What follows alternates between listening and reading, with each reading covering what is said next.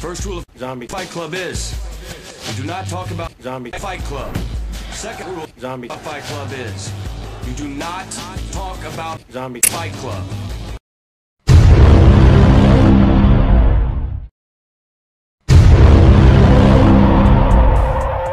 So I'm going to break the rules and I am going to speak about Zombie Fight Club.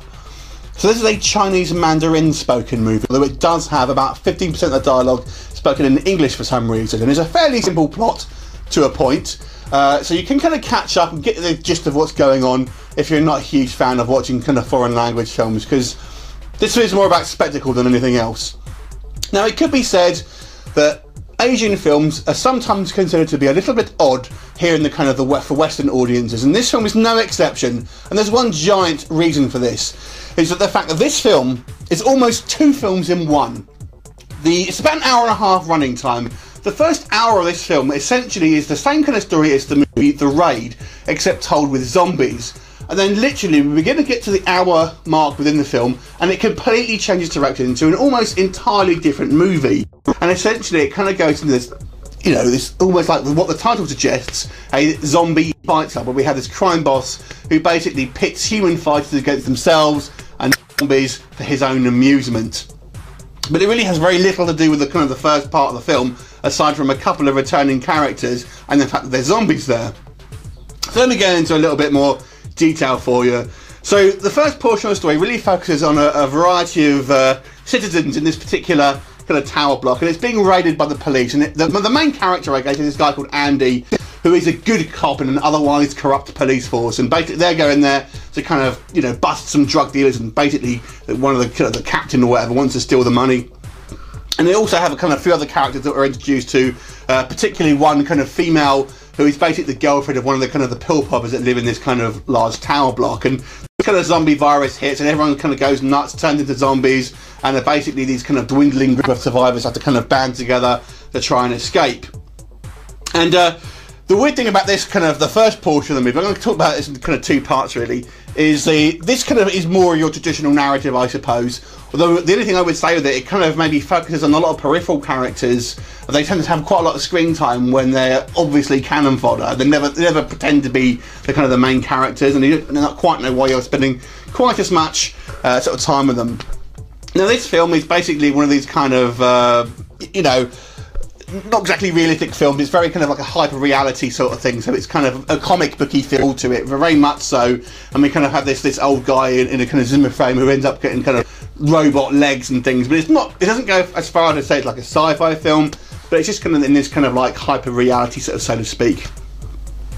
Now the the second half of this film, this it, it really kind of unfortunately changes the kind of the pace of the film and kind of really slows it down because you've you kind of used to watching this film, you're kind of getting into the storyline. It kind of changes such a dramatic uh, left turn. Unfortunately, you think what what the hell, and you're kind of disappointed that the kind of the first portion of the film has kind of stopped and now it's going into this kind of completely sort of different narrative. And I have to say that. Um, the, the kind of the last third movie really isn't as good. Uh, unfortunately, the, the, the, kind of narrative just kind of falls apart. Uh, unfortunately, it becomes a little bit more, just a bit too cheesy for its own kind of good. Uh, but let me go into some of the kind of the positives and negatives because there are actually quite a lot of positives with this film. So first of all, the makeup. The makeup for these films, uh, for zombies, I think are really good for the most part. The, the zombies look fantastic, and we have a, a big variety of different zombies.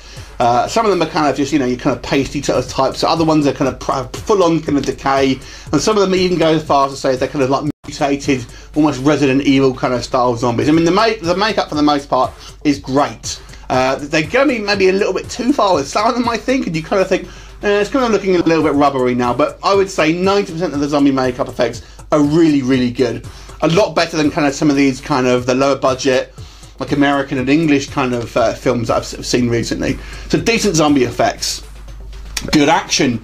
Now, like I said, this kind of takes a out of the raid and very much it plays like that. So basically we have this kind of heroic cop basically battling hordes of the undead in with guns and kind of kung fu and, and things as well. So there, there, are some great action set pieces here. I mean, it doesn't go quite as uh, uh, uh, maybe as good as the raid I'm not saying that but it is very reminiscent of it. And if you enjoyed the raid and you like zombie films, it stands to reason you're going to like this film. And like I said, this kind of has a definite comic book feel to it. It's such a kind of uh, over the top sort of feel to it. You know, the the kind of the the amount of blood and kind of things like that, and it, it, it's a fun film. This is a fun zombie kick-ass movie. However, there are a couple of niggles I have. So the first one being that um, I talked about the kind of the zombie effects, but they does use a lot of visual effects as well, and that that is a little bit distracting in there because you have like the an overuse of kind of CGI blood, and I wonder if that's almost to kind of make it look a little bit more comic comic booky, but it, but it does it does take you out of it a little bit because it's so obvious. And it's, it's, a shame really because they use quite a lot of practical effects, but and they look really good. The, the gore, this is actually quite a gory film, and the gore for the most part looks pretty good, but it's they have an over reliance on CGI blood and, and things like the, some of the explosions as well, just to look a little, a little bit too sort of CGI. I have to say as well, it's a little bit misogynistic. Um, kind of women, the female characters in here are kind of definitely treated more as objects than kind of fleshed out characters. So you know, there's quite a lot of there's lots of like pretty Asian women here. So if you're kind of a fan of that, you're gonna love this film. Uh, there's you know there's not one unattractive uh, woman in this in this movie, uh, and then there's uh, every opportunity to kind of get them naked as quickly know, as, as often as we possibly can, and, and all sorts of stuff basically. So if you're a female viewer, um, you may be slightly put off by this, or even if you're not, you still may not maybe like some slightly kind of misogynistic uh, view. I felt it, some, it had to some degree. Uh, the other thing is as well, really, and this is going to be the main here. The main one here is the the last third of this film, as I say, is so different. It's it, unfortunately it kind of it, it changes the kind of the flow of the film, and it would have been so much better if they had kind of expanded the the first two thirds to make that more of a, a, a kind of a the film on its own and then had this second part as maybe a second film. Which maybe that was the plan. I, I, don't know, but it just seemed that it's so kind of smashed in together.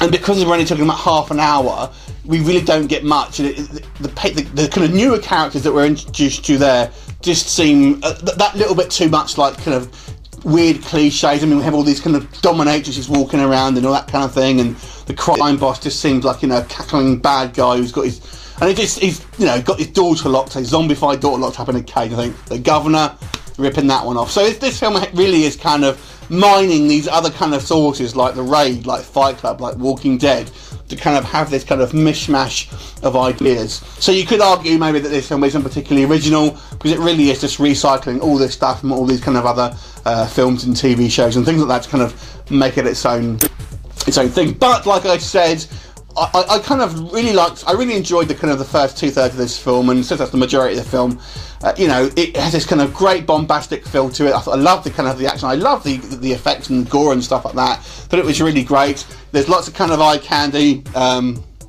you know, it's a fun movie, but not without its faults. I'm going to give this movie a six out of ten. Have you seen it? What did you think of it? Leave me a comment, and I will look forward to seeing you next time. Bye for now.